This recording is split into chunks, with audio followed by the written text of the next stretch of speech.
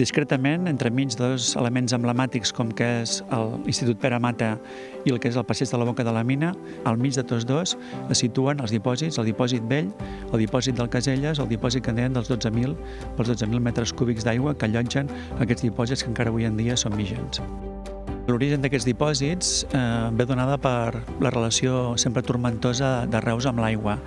i de la necessitat que tenia de, de vestir-se una ciutat que havia crescut moltíssim. Aleshores, eh, Pere Caselles, eh, una persona amb formació en arquitectura però també amb una gran vocació en enginyeria, doncs va ser sensible en aquesta necessitat i va projectar uns dipòsits que poguessin donar satisfacció a la necessitat d'aigua d'una ciutat que havia crescut molt. I cap, al, cap allà l'any 29, finals de, dels anys 20, va projectar aquests dipòsits. La documentació és molt escassa, però sembla ser doncs, que va projectar ell, tot i que la direcció d'obres va ser de l'arquitecte municipal de, del senyor Sardà. L'estil al qual s'escriu aquesta, aquesta obra és el modernisme, segurament perquè l'autor, eh, Pere Caselles, també la seva obra arquitectònica sempre s'ha escrit bàsicament doncs, en, aquesta, en aquest període arquitectònic. I el que és la construcció és una construcció realment molt interessant per les seves dimensions, perquè són dos dipòsits de 6.000 metres cúbics d'aigua, en total 12.000 metres cúbics,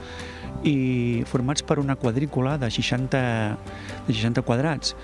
60 quadrats estan coronats per, una, per uns casquets que si ara poguéssim veure, tot i que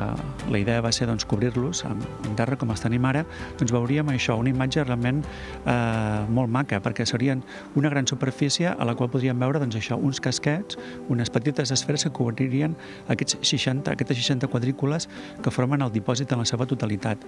Caselles, al situar aquests dipòsits aquí, per una banda, permet eh, que la pressió de l'aigua arribi sense cap mena de problema a la ciutat pel seu nivell més elevat i en segon lloc Caselles utilitza per cobrir aquesta quadrícula, aquestes 60 quadrícules que hi ha,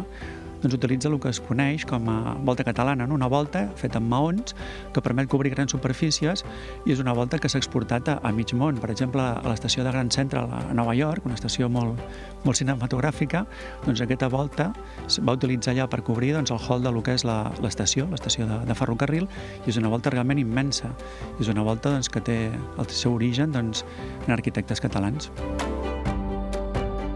La gran virtut d'aquesta obra és que avui en dia, el 2021, continua vigent, continua funcionant i continua donant servei. Per tant, és un element patrimonial absolutament viu. Eh, moltes vegades tenim aquesta imatge o aquesta idea de que els elements patrimonials han de ser eh, elements que han acabat i a la seva vida útil, diguem-ne, i passen a ser una obra pràcticament estàtica. En aquest cas és una obra totalment viva, una obra que dona servei, una obra que, que dona satisfacció amb unes necessitats que té la ciutat. Mm, realment és esperançador que a dia d'avui, només 100 anys més tard de la seva construcció, tinguem present i tinguem, tinguem clar doncs, que aquesta construcció purament funcional, com era un dipòsit d'aigües, realment és més que un dipòsit d'aigües. És una obra arquitectònica de primer ordre, una obra d'enginyeria de primer ordre i un element patrimonial de la ciutat de primer ordre que hauríem de reivindicar.